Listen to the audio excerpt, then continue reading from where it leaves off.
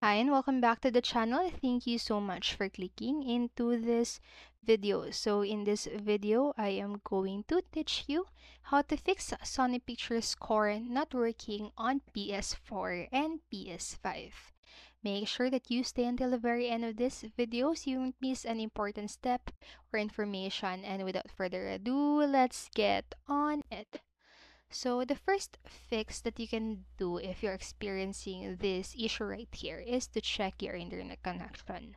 So after checking your internet connection, just make sure that your PS4 or PS5 is connected also to the internet that you are that your connection is stable.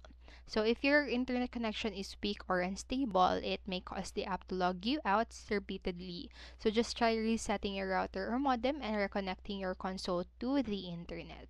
And then next what you can do is to clear Sony Pictures Core uh, cache and data.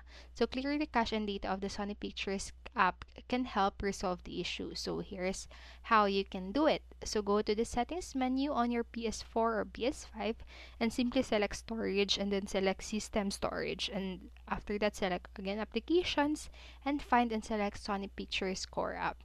And after that select options and then delete and after that reinstall the app from the PlayStation Store. Then lastly, what you can do is to update your PS4 or PS5 system software. So make sure that your PS4 or PS5 system is up to date because an outdated system software can cause you logging out from Sony Pictures app. So here are the steps on how you can update your system software. So go to the settings menu on your PS4 or PS5 and then select system.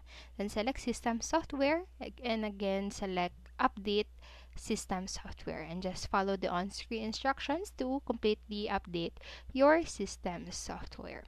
And so that's it for this video. Remember, you can always pause this video, go back to the video, and follow the steps at your own time.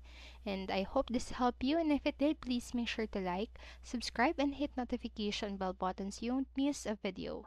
Thank you so much for watching and have a great day. Bye-bye.